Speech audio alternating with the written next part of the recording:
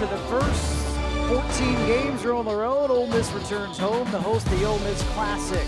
The first opponent for the Rebels, one of the best teams out of the Southland Conference, the Southeastern Louisiana Lady Lions. The starting pitcher for the home opener, it's the senior McKenna Clethermos. What can we expect to see out of McKenna in the circle? Well, she leads the team in wins, ERA, and innings pitched. She's going to throw in the upper 60s. She's got a rise, drop, and a change.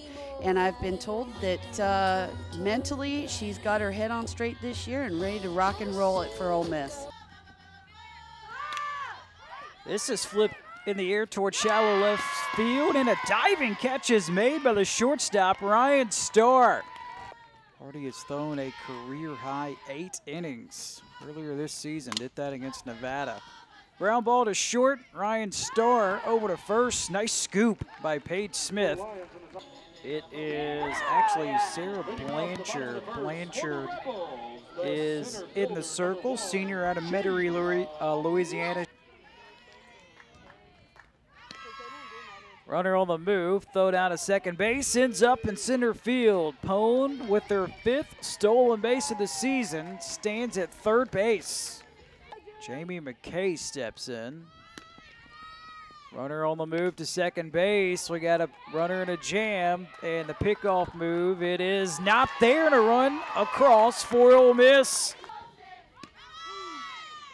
Here she is on the move again. This time the throw is on target. Chloe McGee caught it and applied the tag. McKay is thrown out at second base for the final out of the inning. Entering today, and here she will ground out to Clethermos to begin the third in stolen bases this season. There's a little flare. There's the first base hit of the game for Southeastern. It's a one out single for McGee. Fly ball left field. It is caught. Watson makes the catch for the second out of the inning. Get out into the circle. 3 2. What a catch made at third base by Rummel.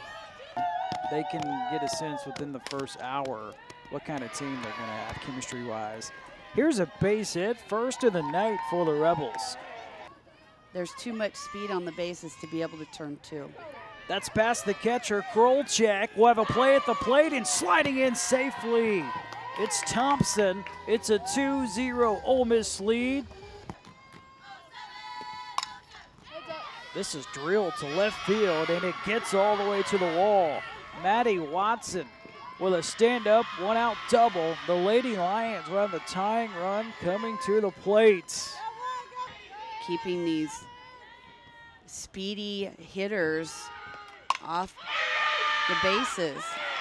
What a way to secure a victory for the Rebels. A diving catch by Jamie McKay wraps up an Ole Miss win in their home opener